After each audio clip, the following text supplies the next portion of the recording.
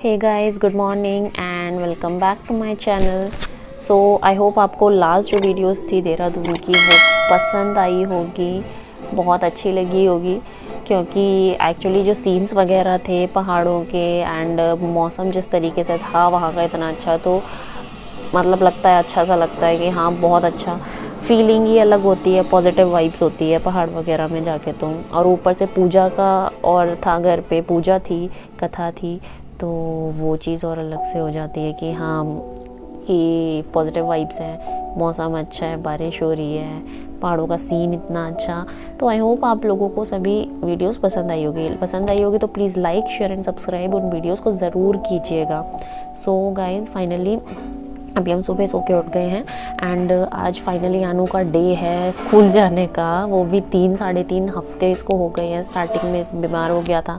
फिर उसके बाद इसकी दशहरे की छुट्टियाँ पड़ गई थी, फिर उसके बाद हम देहरादून चले गए थे। तो फाइनली आज मैं उसको स्कूल भेज रही हूँ काफ़ी टाइम बाद। वैसे तो मना कर रहा है कि मैं स्कूल नहीं जाऊँगा नहीं जाऊँगा, क्योंकि बीच में जो गैप आ जाता है ना छुट्टियों का, उसके बाद इसका स्कूल जाने का मन ही नहीं करता इसके साथ ही स्टार्टिंग से। क्योंकि बीच में समर वेकेशन भी पड़ी थी तो उस टाइम पर भी इसने मना करा था, मैं नहीं जाऊँगा, बहुत रोया था। तो फ़िलहाल अनु सो के उठ गया। अभी मैं उसको ब्रेकफास्ट करा रही हूँ।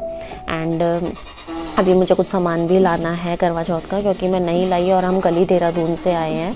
तो इतना टाइम नहीं मिला कल, क्योंकि जो पूरा रूम हौच पौच हो रखा था, उसको सब ठीक करा था। कपड़े थे बहुत सारे धोने के लिए, वो सब धोए थे। तो अभी जाएँगे। अनु को स्कूल छोड़ के आते हैं पहले। फिर उसके बाद मैं जो है सामान लेके आऊँगी करवा चौथ का और आगे फिर आपको दिखाते हैं। सो so गए जानू को स्कूल छोड़ के तो हम आ गए हैं। काफ़ी टाइम बाद स्कूल गया था तो इसीलिए थोड़ा आना का नहीं कर रहा था कि नहीं मुझे स्कूल नहीं जाना है स्कूल गंदा है दूसरा स्कूल दूसरे स्कूल में भेजो मुझे। तो ऐसे ऐसे कर रहा था। तो फ़िलहाल तो उसको स्कूल छोड़ के आ गए हैं एंड सामान भी मैं ले आई हूँ करवा चौथ का। तो जो जो उन्होंने मुझे दिया कि हाँ ये ये चीज़ है तो ले आई हूँ अभी मैं आपको गाइज़ ये सामान मैं लाई हूँ। एक तो उन्होंने मुझे कैलेंडर दिया है और ये जो सीख सी होती है, ये उनके साथ दी है इन्होंने मुझे। मतलब शॉप वाले ने सारा मिक्स करके ही मुझे, मैंने कहा पूरा सेट बना के दे दो तो उन्होंने मुझे ये दिया है। एंड ये हो गया मेरा करवा, जिसके प्लेट हो गई। और कोन्स लाई थी कुछ मैं मेहंदी के। और मेरे साथ पोपट ही हो गया, ये देखो कैसी मेहंदी खिली है मेरी। कुछ पता ही नहीं चल रहा बिल्कुल भी। हर टाइम मेरी ब्लैक होती है बट उन्होंने मुझे ये दी तो अब है तो इसकी कोकिला की है, देखो। अब मुझे लग रहा है ये खिलती तो अच्छी है, पर पता नहीं इस बार मेरे साथ क्या हुआ, कुछ भी नहीं। यहाँ पे कुछ भी नहीं दिख रहा है कि कुछ होगा भी लगा रखा। कुछ पता ही नहीं चल रहा है। देखो, अब क्या करूँ बताओ और मुझे मेहंदी लगाने का वैसे भी बहुत शौक है कि मेहंदी डार्क वगैरह खिले। ये देखो, एक उन्होंने मुझे इसके साथ ये दिया है। तो ये तो हो गया मेरा सामान। अभी मैं छलनी लाना भी भूल गई हूँ। छन्नी भी मुझे लानी पड़ेगी। तो वो मैं भूल गई थी। उन्होंने मुझे सेट के साथ नहीं दी। मे भी वो अलग मिलती हो। तो अभी मैं छन्नी भी लानी है मुझे। एंड अभी एक दो और सामान है कॉस्मेटिक वगैरह का जो मुझे चाहिए। तो फ़िलहाल तो मुझे इसे देख के रोना आ रहा है। पता नहीं क्या हो रहा है।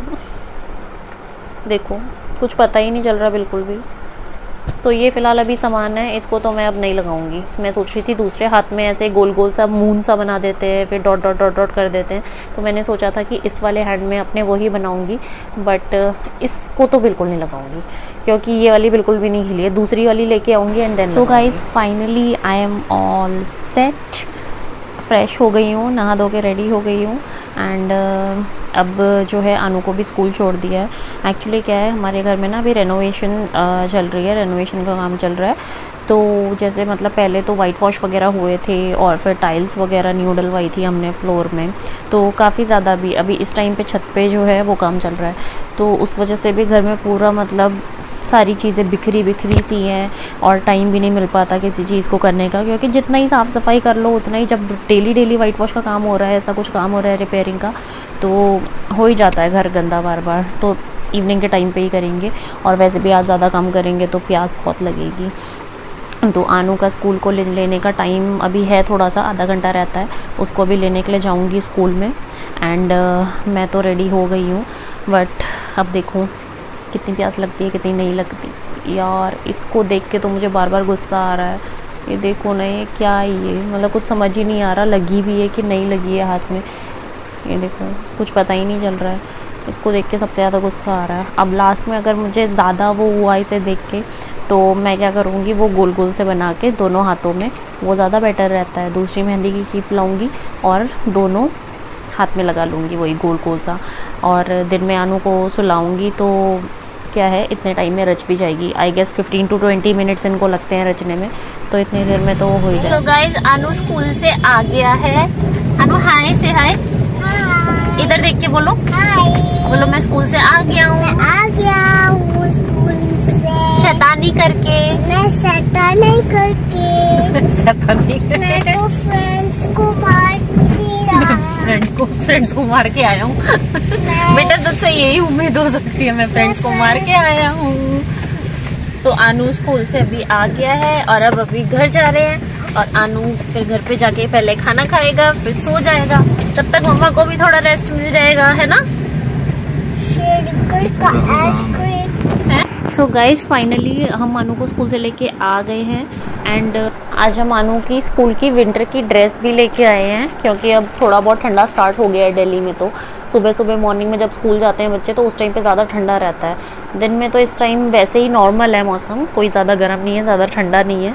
लेकिन अभी स्कूल की, इसकी विंटर की ड्रेस मैं ले आई हूँ आज, क्योंकि थोड़ा धीरे धीरे पहनाना स्टार्ट करेंगे। अभी वैसे तो ये गर्म है अभी। अभी वाले मौसम के लिए तो नहीं है फ्लीस है पूरा। और ऊपर भी गर्म है, हुडी वगैरह लग रखी है लुक्स गुड अच्छी लग रही है। और एक ये टी शर्ट भी है फुल स्लीव्स की टी शर्ट लेके आए हैं।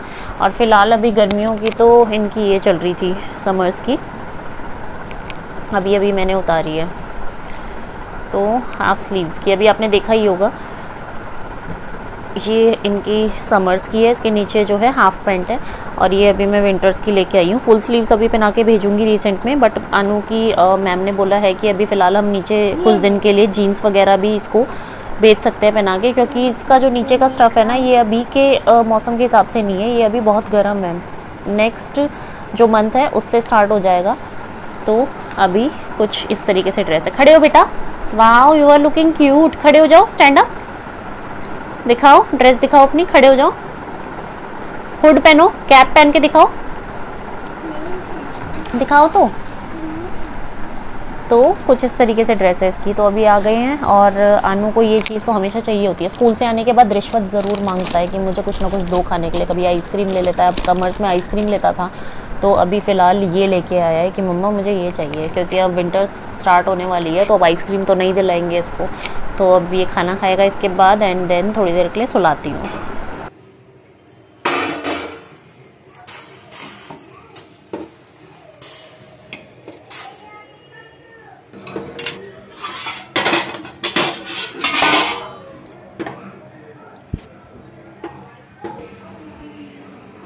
ये आटा गूंद के हमने रखा है मैदे का, भटूरे के।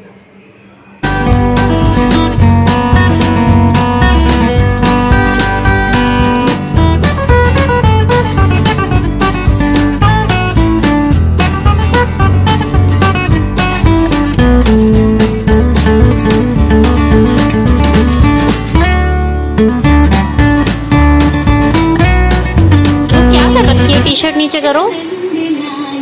अनु टी शर्ट नीचे करो। Good good boy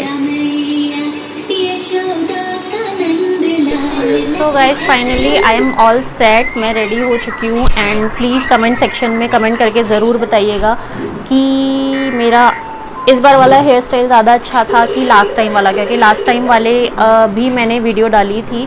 एंड उसका जो लिंक है वो मैं डिस्क्रिप्शन में ज़रूर सेंड करूँगी। आप उस वीडियो को भी देखना कि वो वाला लुक ज़्यादा बेटर था कि ये वाला लुक ज़्यादा बेटर है। क्योंकि हर बार कुछ डिफरेंट करना चाहिए ना अलग अलग सी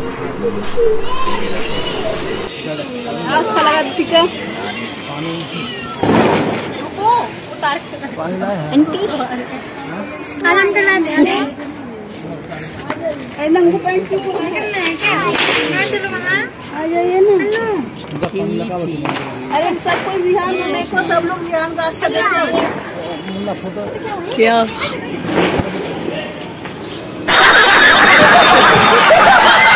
गाइस ये थी हमारी आज की वीडियो करवा चौथ स्पेशल वाली।